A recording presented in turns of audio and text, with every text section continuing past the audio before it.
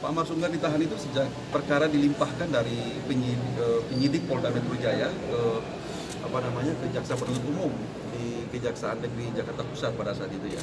Kapan itu bang? Itu sudah 20 hari yang lalu ya kalau tidak salah ya. ya. Saya lupa tanggalnya tapi pada saat itu eh, berkasnya dilimpahkan. Hmm. Jadi bukan ditahan pada tingkat penyidikan, tapi ditahan pada tingkat penuntutan.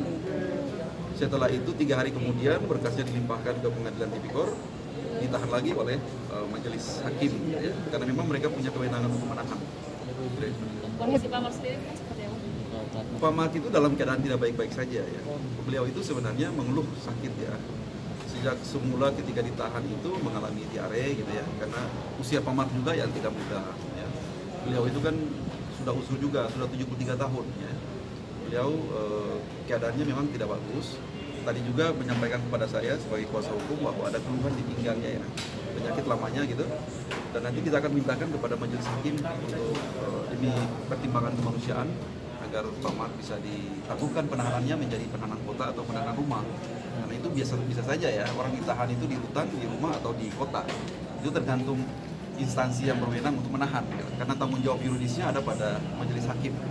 Dan kita sudah secara resmi, secara administratif telah mengajukan permohonan penangguhan penahanan. Bang, penangguhan penahanan itu sudah diajukan sejak menjadi tahanan kejaksaan nggak sih? Iya, Atau memang tahanan eh, itu baru- dilakukan baru pada saat ya pada saat eh, pada tingkat penuntutan di Oh, iya. kejaksaan ya. Kalau di penyidikan belum, pada saat itu tidak pernah dilakukan penahanan.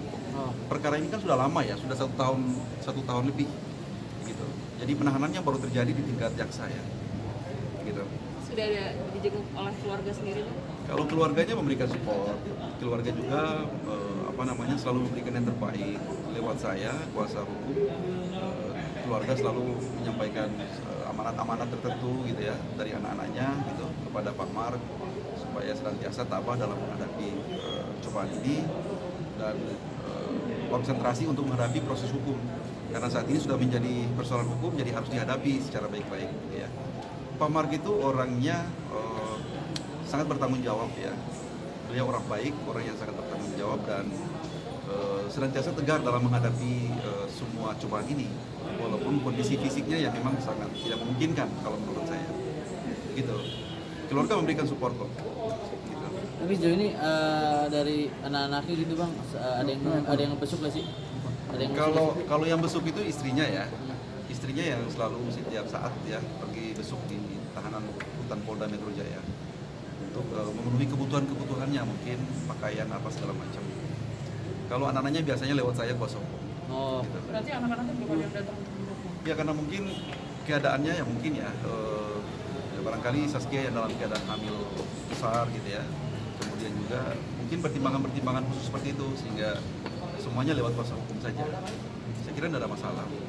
Berarti kalau persidangan eh, ada rencana mau ikut juga nggak sih bang? Eh, Istrinya, kalau istrinya enggak, istrinya tidak tidak mengikuti persidangan karena istrinya juga bagian dari saksi dalam perkara ini ya. Hmm.